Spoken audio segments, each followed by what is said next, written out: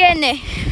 Bardzo rzadki okaz, ja tu biegnę, ale mam pierwszy raz ED74, czyli Flir 2 w wydaniu Intercity. Kolega by pozazdrościł. Pięknej Intercity. Rzadkie. Intercity do Warszawy. Nie wiem jakiej. Ale tutaj można tylko i wyłącznie pozazdrościć. 001. Pierwsza sztuka. Mało kto da radę tutaj nie pozazdrościć.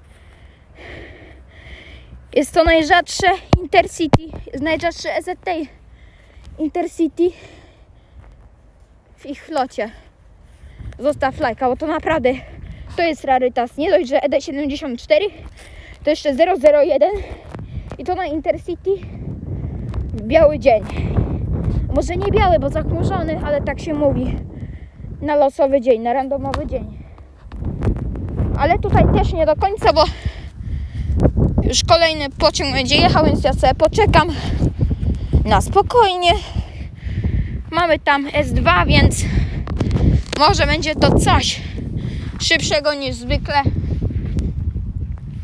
Ale ED70 przepraszam, ale naprawdę. Przebiegłem ze 150 metrów po wertepach, dziurach plus dwa razy jak jeszcze poza kamerą biegłem to się potknąłem więc mam trochę ręce zarte. Postaram się tego nie pokazywać bo mogę dostać coś na YouTube, jeszcze jakieś ograniczenia, ale ale no. Czekamy w takim razie na wjazd pociągu, przelot pociągu, który ma podane S2 to czekamy